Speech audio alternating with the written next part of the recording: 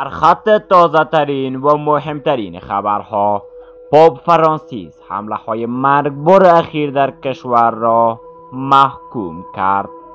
سرپرست و وزارت امور خارجه طالبان تهدید داعش در افغانستان جدی نیست و نفعشان تبلیغ می شود و همچنان در پایان جنگ میان گروه طالبان و جبهه مقاومت در بازارک و انابه پنشیر با نام خدا و با تقدیم سلام با مجموع خبری channel یوتیوب وان سمارت. خوش آمدین.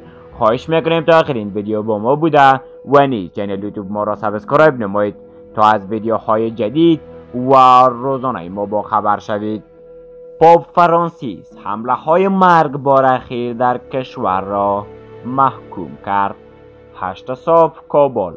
پاپ فرانسیس رهبر کاتولیک های جهان حمله های اخیر بر غیر نظامیان شیعه در قندهار و قندوز را محکوم کرد با گزارش رویترز رهبر کاتولیک های جهان که روز یکشنبه 25 میزان در میدان سنت پرتز در واتیکان صحبت می کرد حملات اخیر در افغانستان بریتانیا و ناروی را محکوم کرد. با فرانسیس از عاملان این رویدادها خواست که رای خشونت را رها کنند. از سوی هم شورای علمای شیعه افغانستان با تاکید بر همه بستگی مردم افغانستان این حملات را محکوم کرده و خواهان تامین امنیت مکانهای مذهبی در کشور شده است. در اعلامیه این شورا از مردم خواسته شده است که هنگام تجمع در مراکز دینی و فرهنگی مراقب امنیت خود باشند. در حمله بر نمازگزاران شیعه در قندهار دست کم شست و دو تن کشته و 90 تن دیگر زخمی شدند. گروه داعش با نشر تصاویر دو مهاجم انتحاری مسئولیت این حمله را در جنوب کشور را بر عهده گرفته است. در همین حال عبدالرعوف شیرزاد در روی صفحه رسمی فیسبوک خود چنین نگاشته است. فوری جنگ میان گروه طالبان و جبهه مقاومت در چند استقامت ولسوالی بازارک و عنابه به شدت جریان دارد. در همین حال رهروان جنبش نیز در روی صفحه رسمی فیسبوک خود چنین نگاشته است. تازه همین اکنون جنگ میان گروه طالبان و جبهه مقاومت در چند استقامت ولسوالی های بازارک و عنابه به شدت جریان دارد. همچنان این در حالی است که سرپرست و وزارت امور خارجه طالبان تهدید داعش در افغانستان جدی نیست و نفعشان تبلیغ می شود هشت صبح کابل.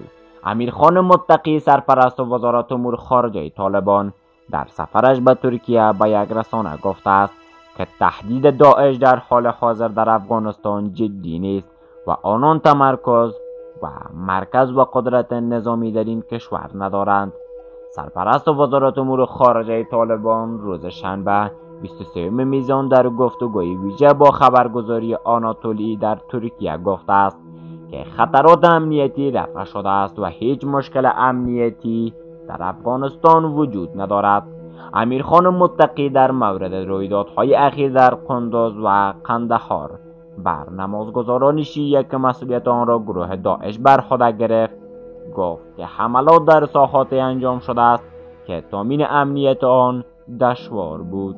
او افزوده است که داعش در افغانستان تهدید جدی تلقی نمی شود و تبلیغات به نفع داعش جریان دارد و کوشش می شود که طالبان را ضعیف نشان داده شوند.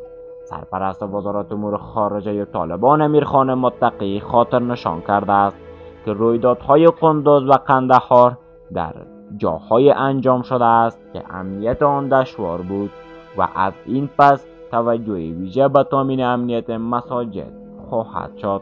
او تصریح کرده است که امنیت مراکز دینی و مذهبی و کمک مردم تأمین خواهد شد. از سوی هم امیرخان متقی به آناتولی گفته است که با بهبود اقتصاد حکومت آنان نظم خواهد گرفت.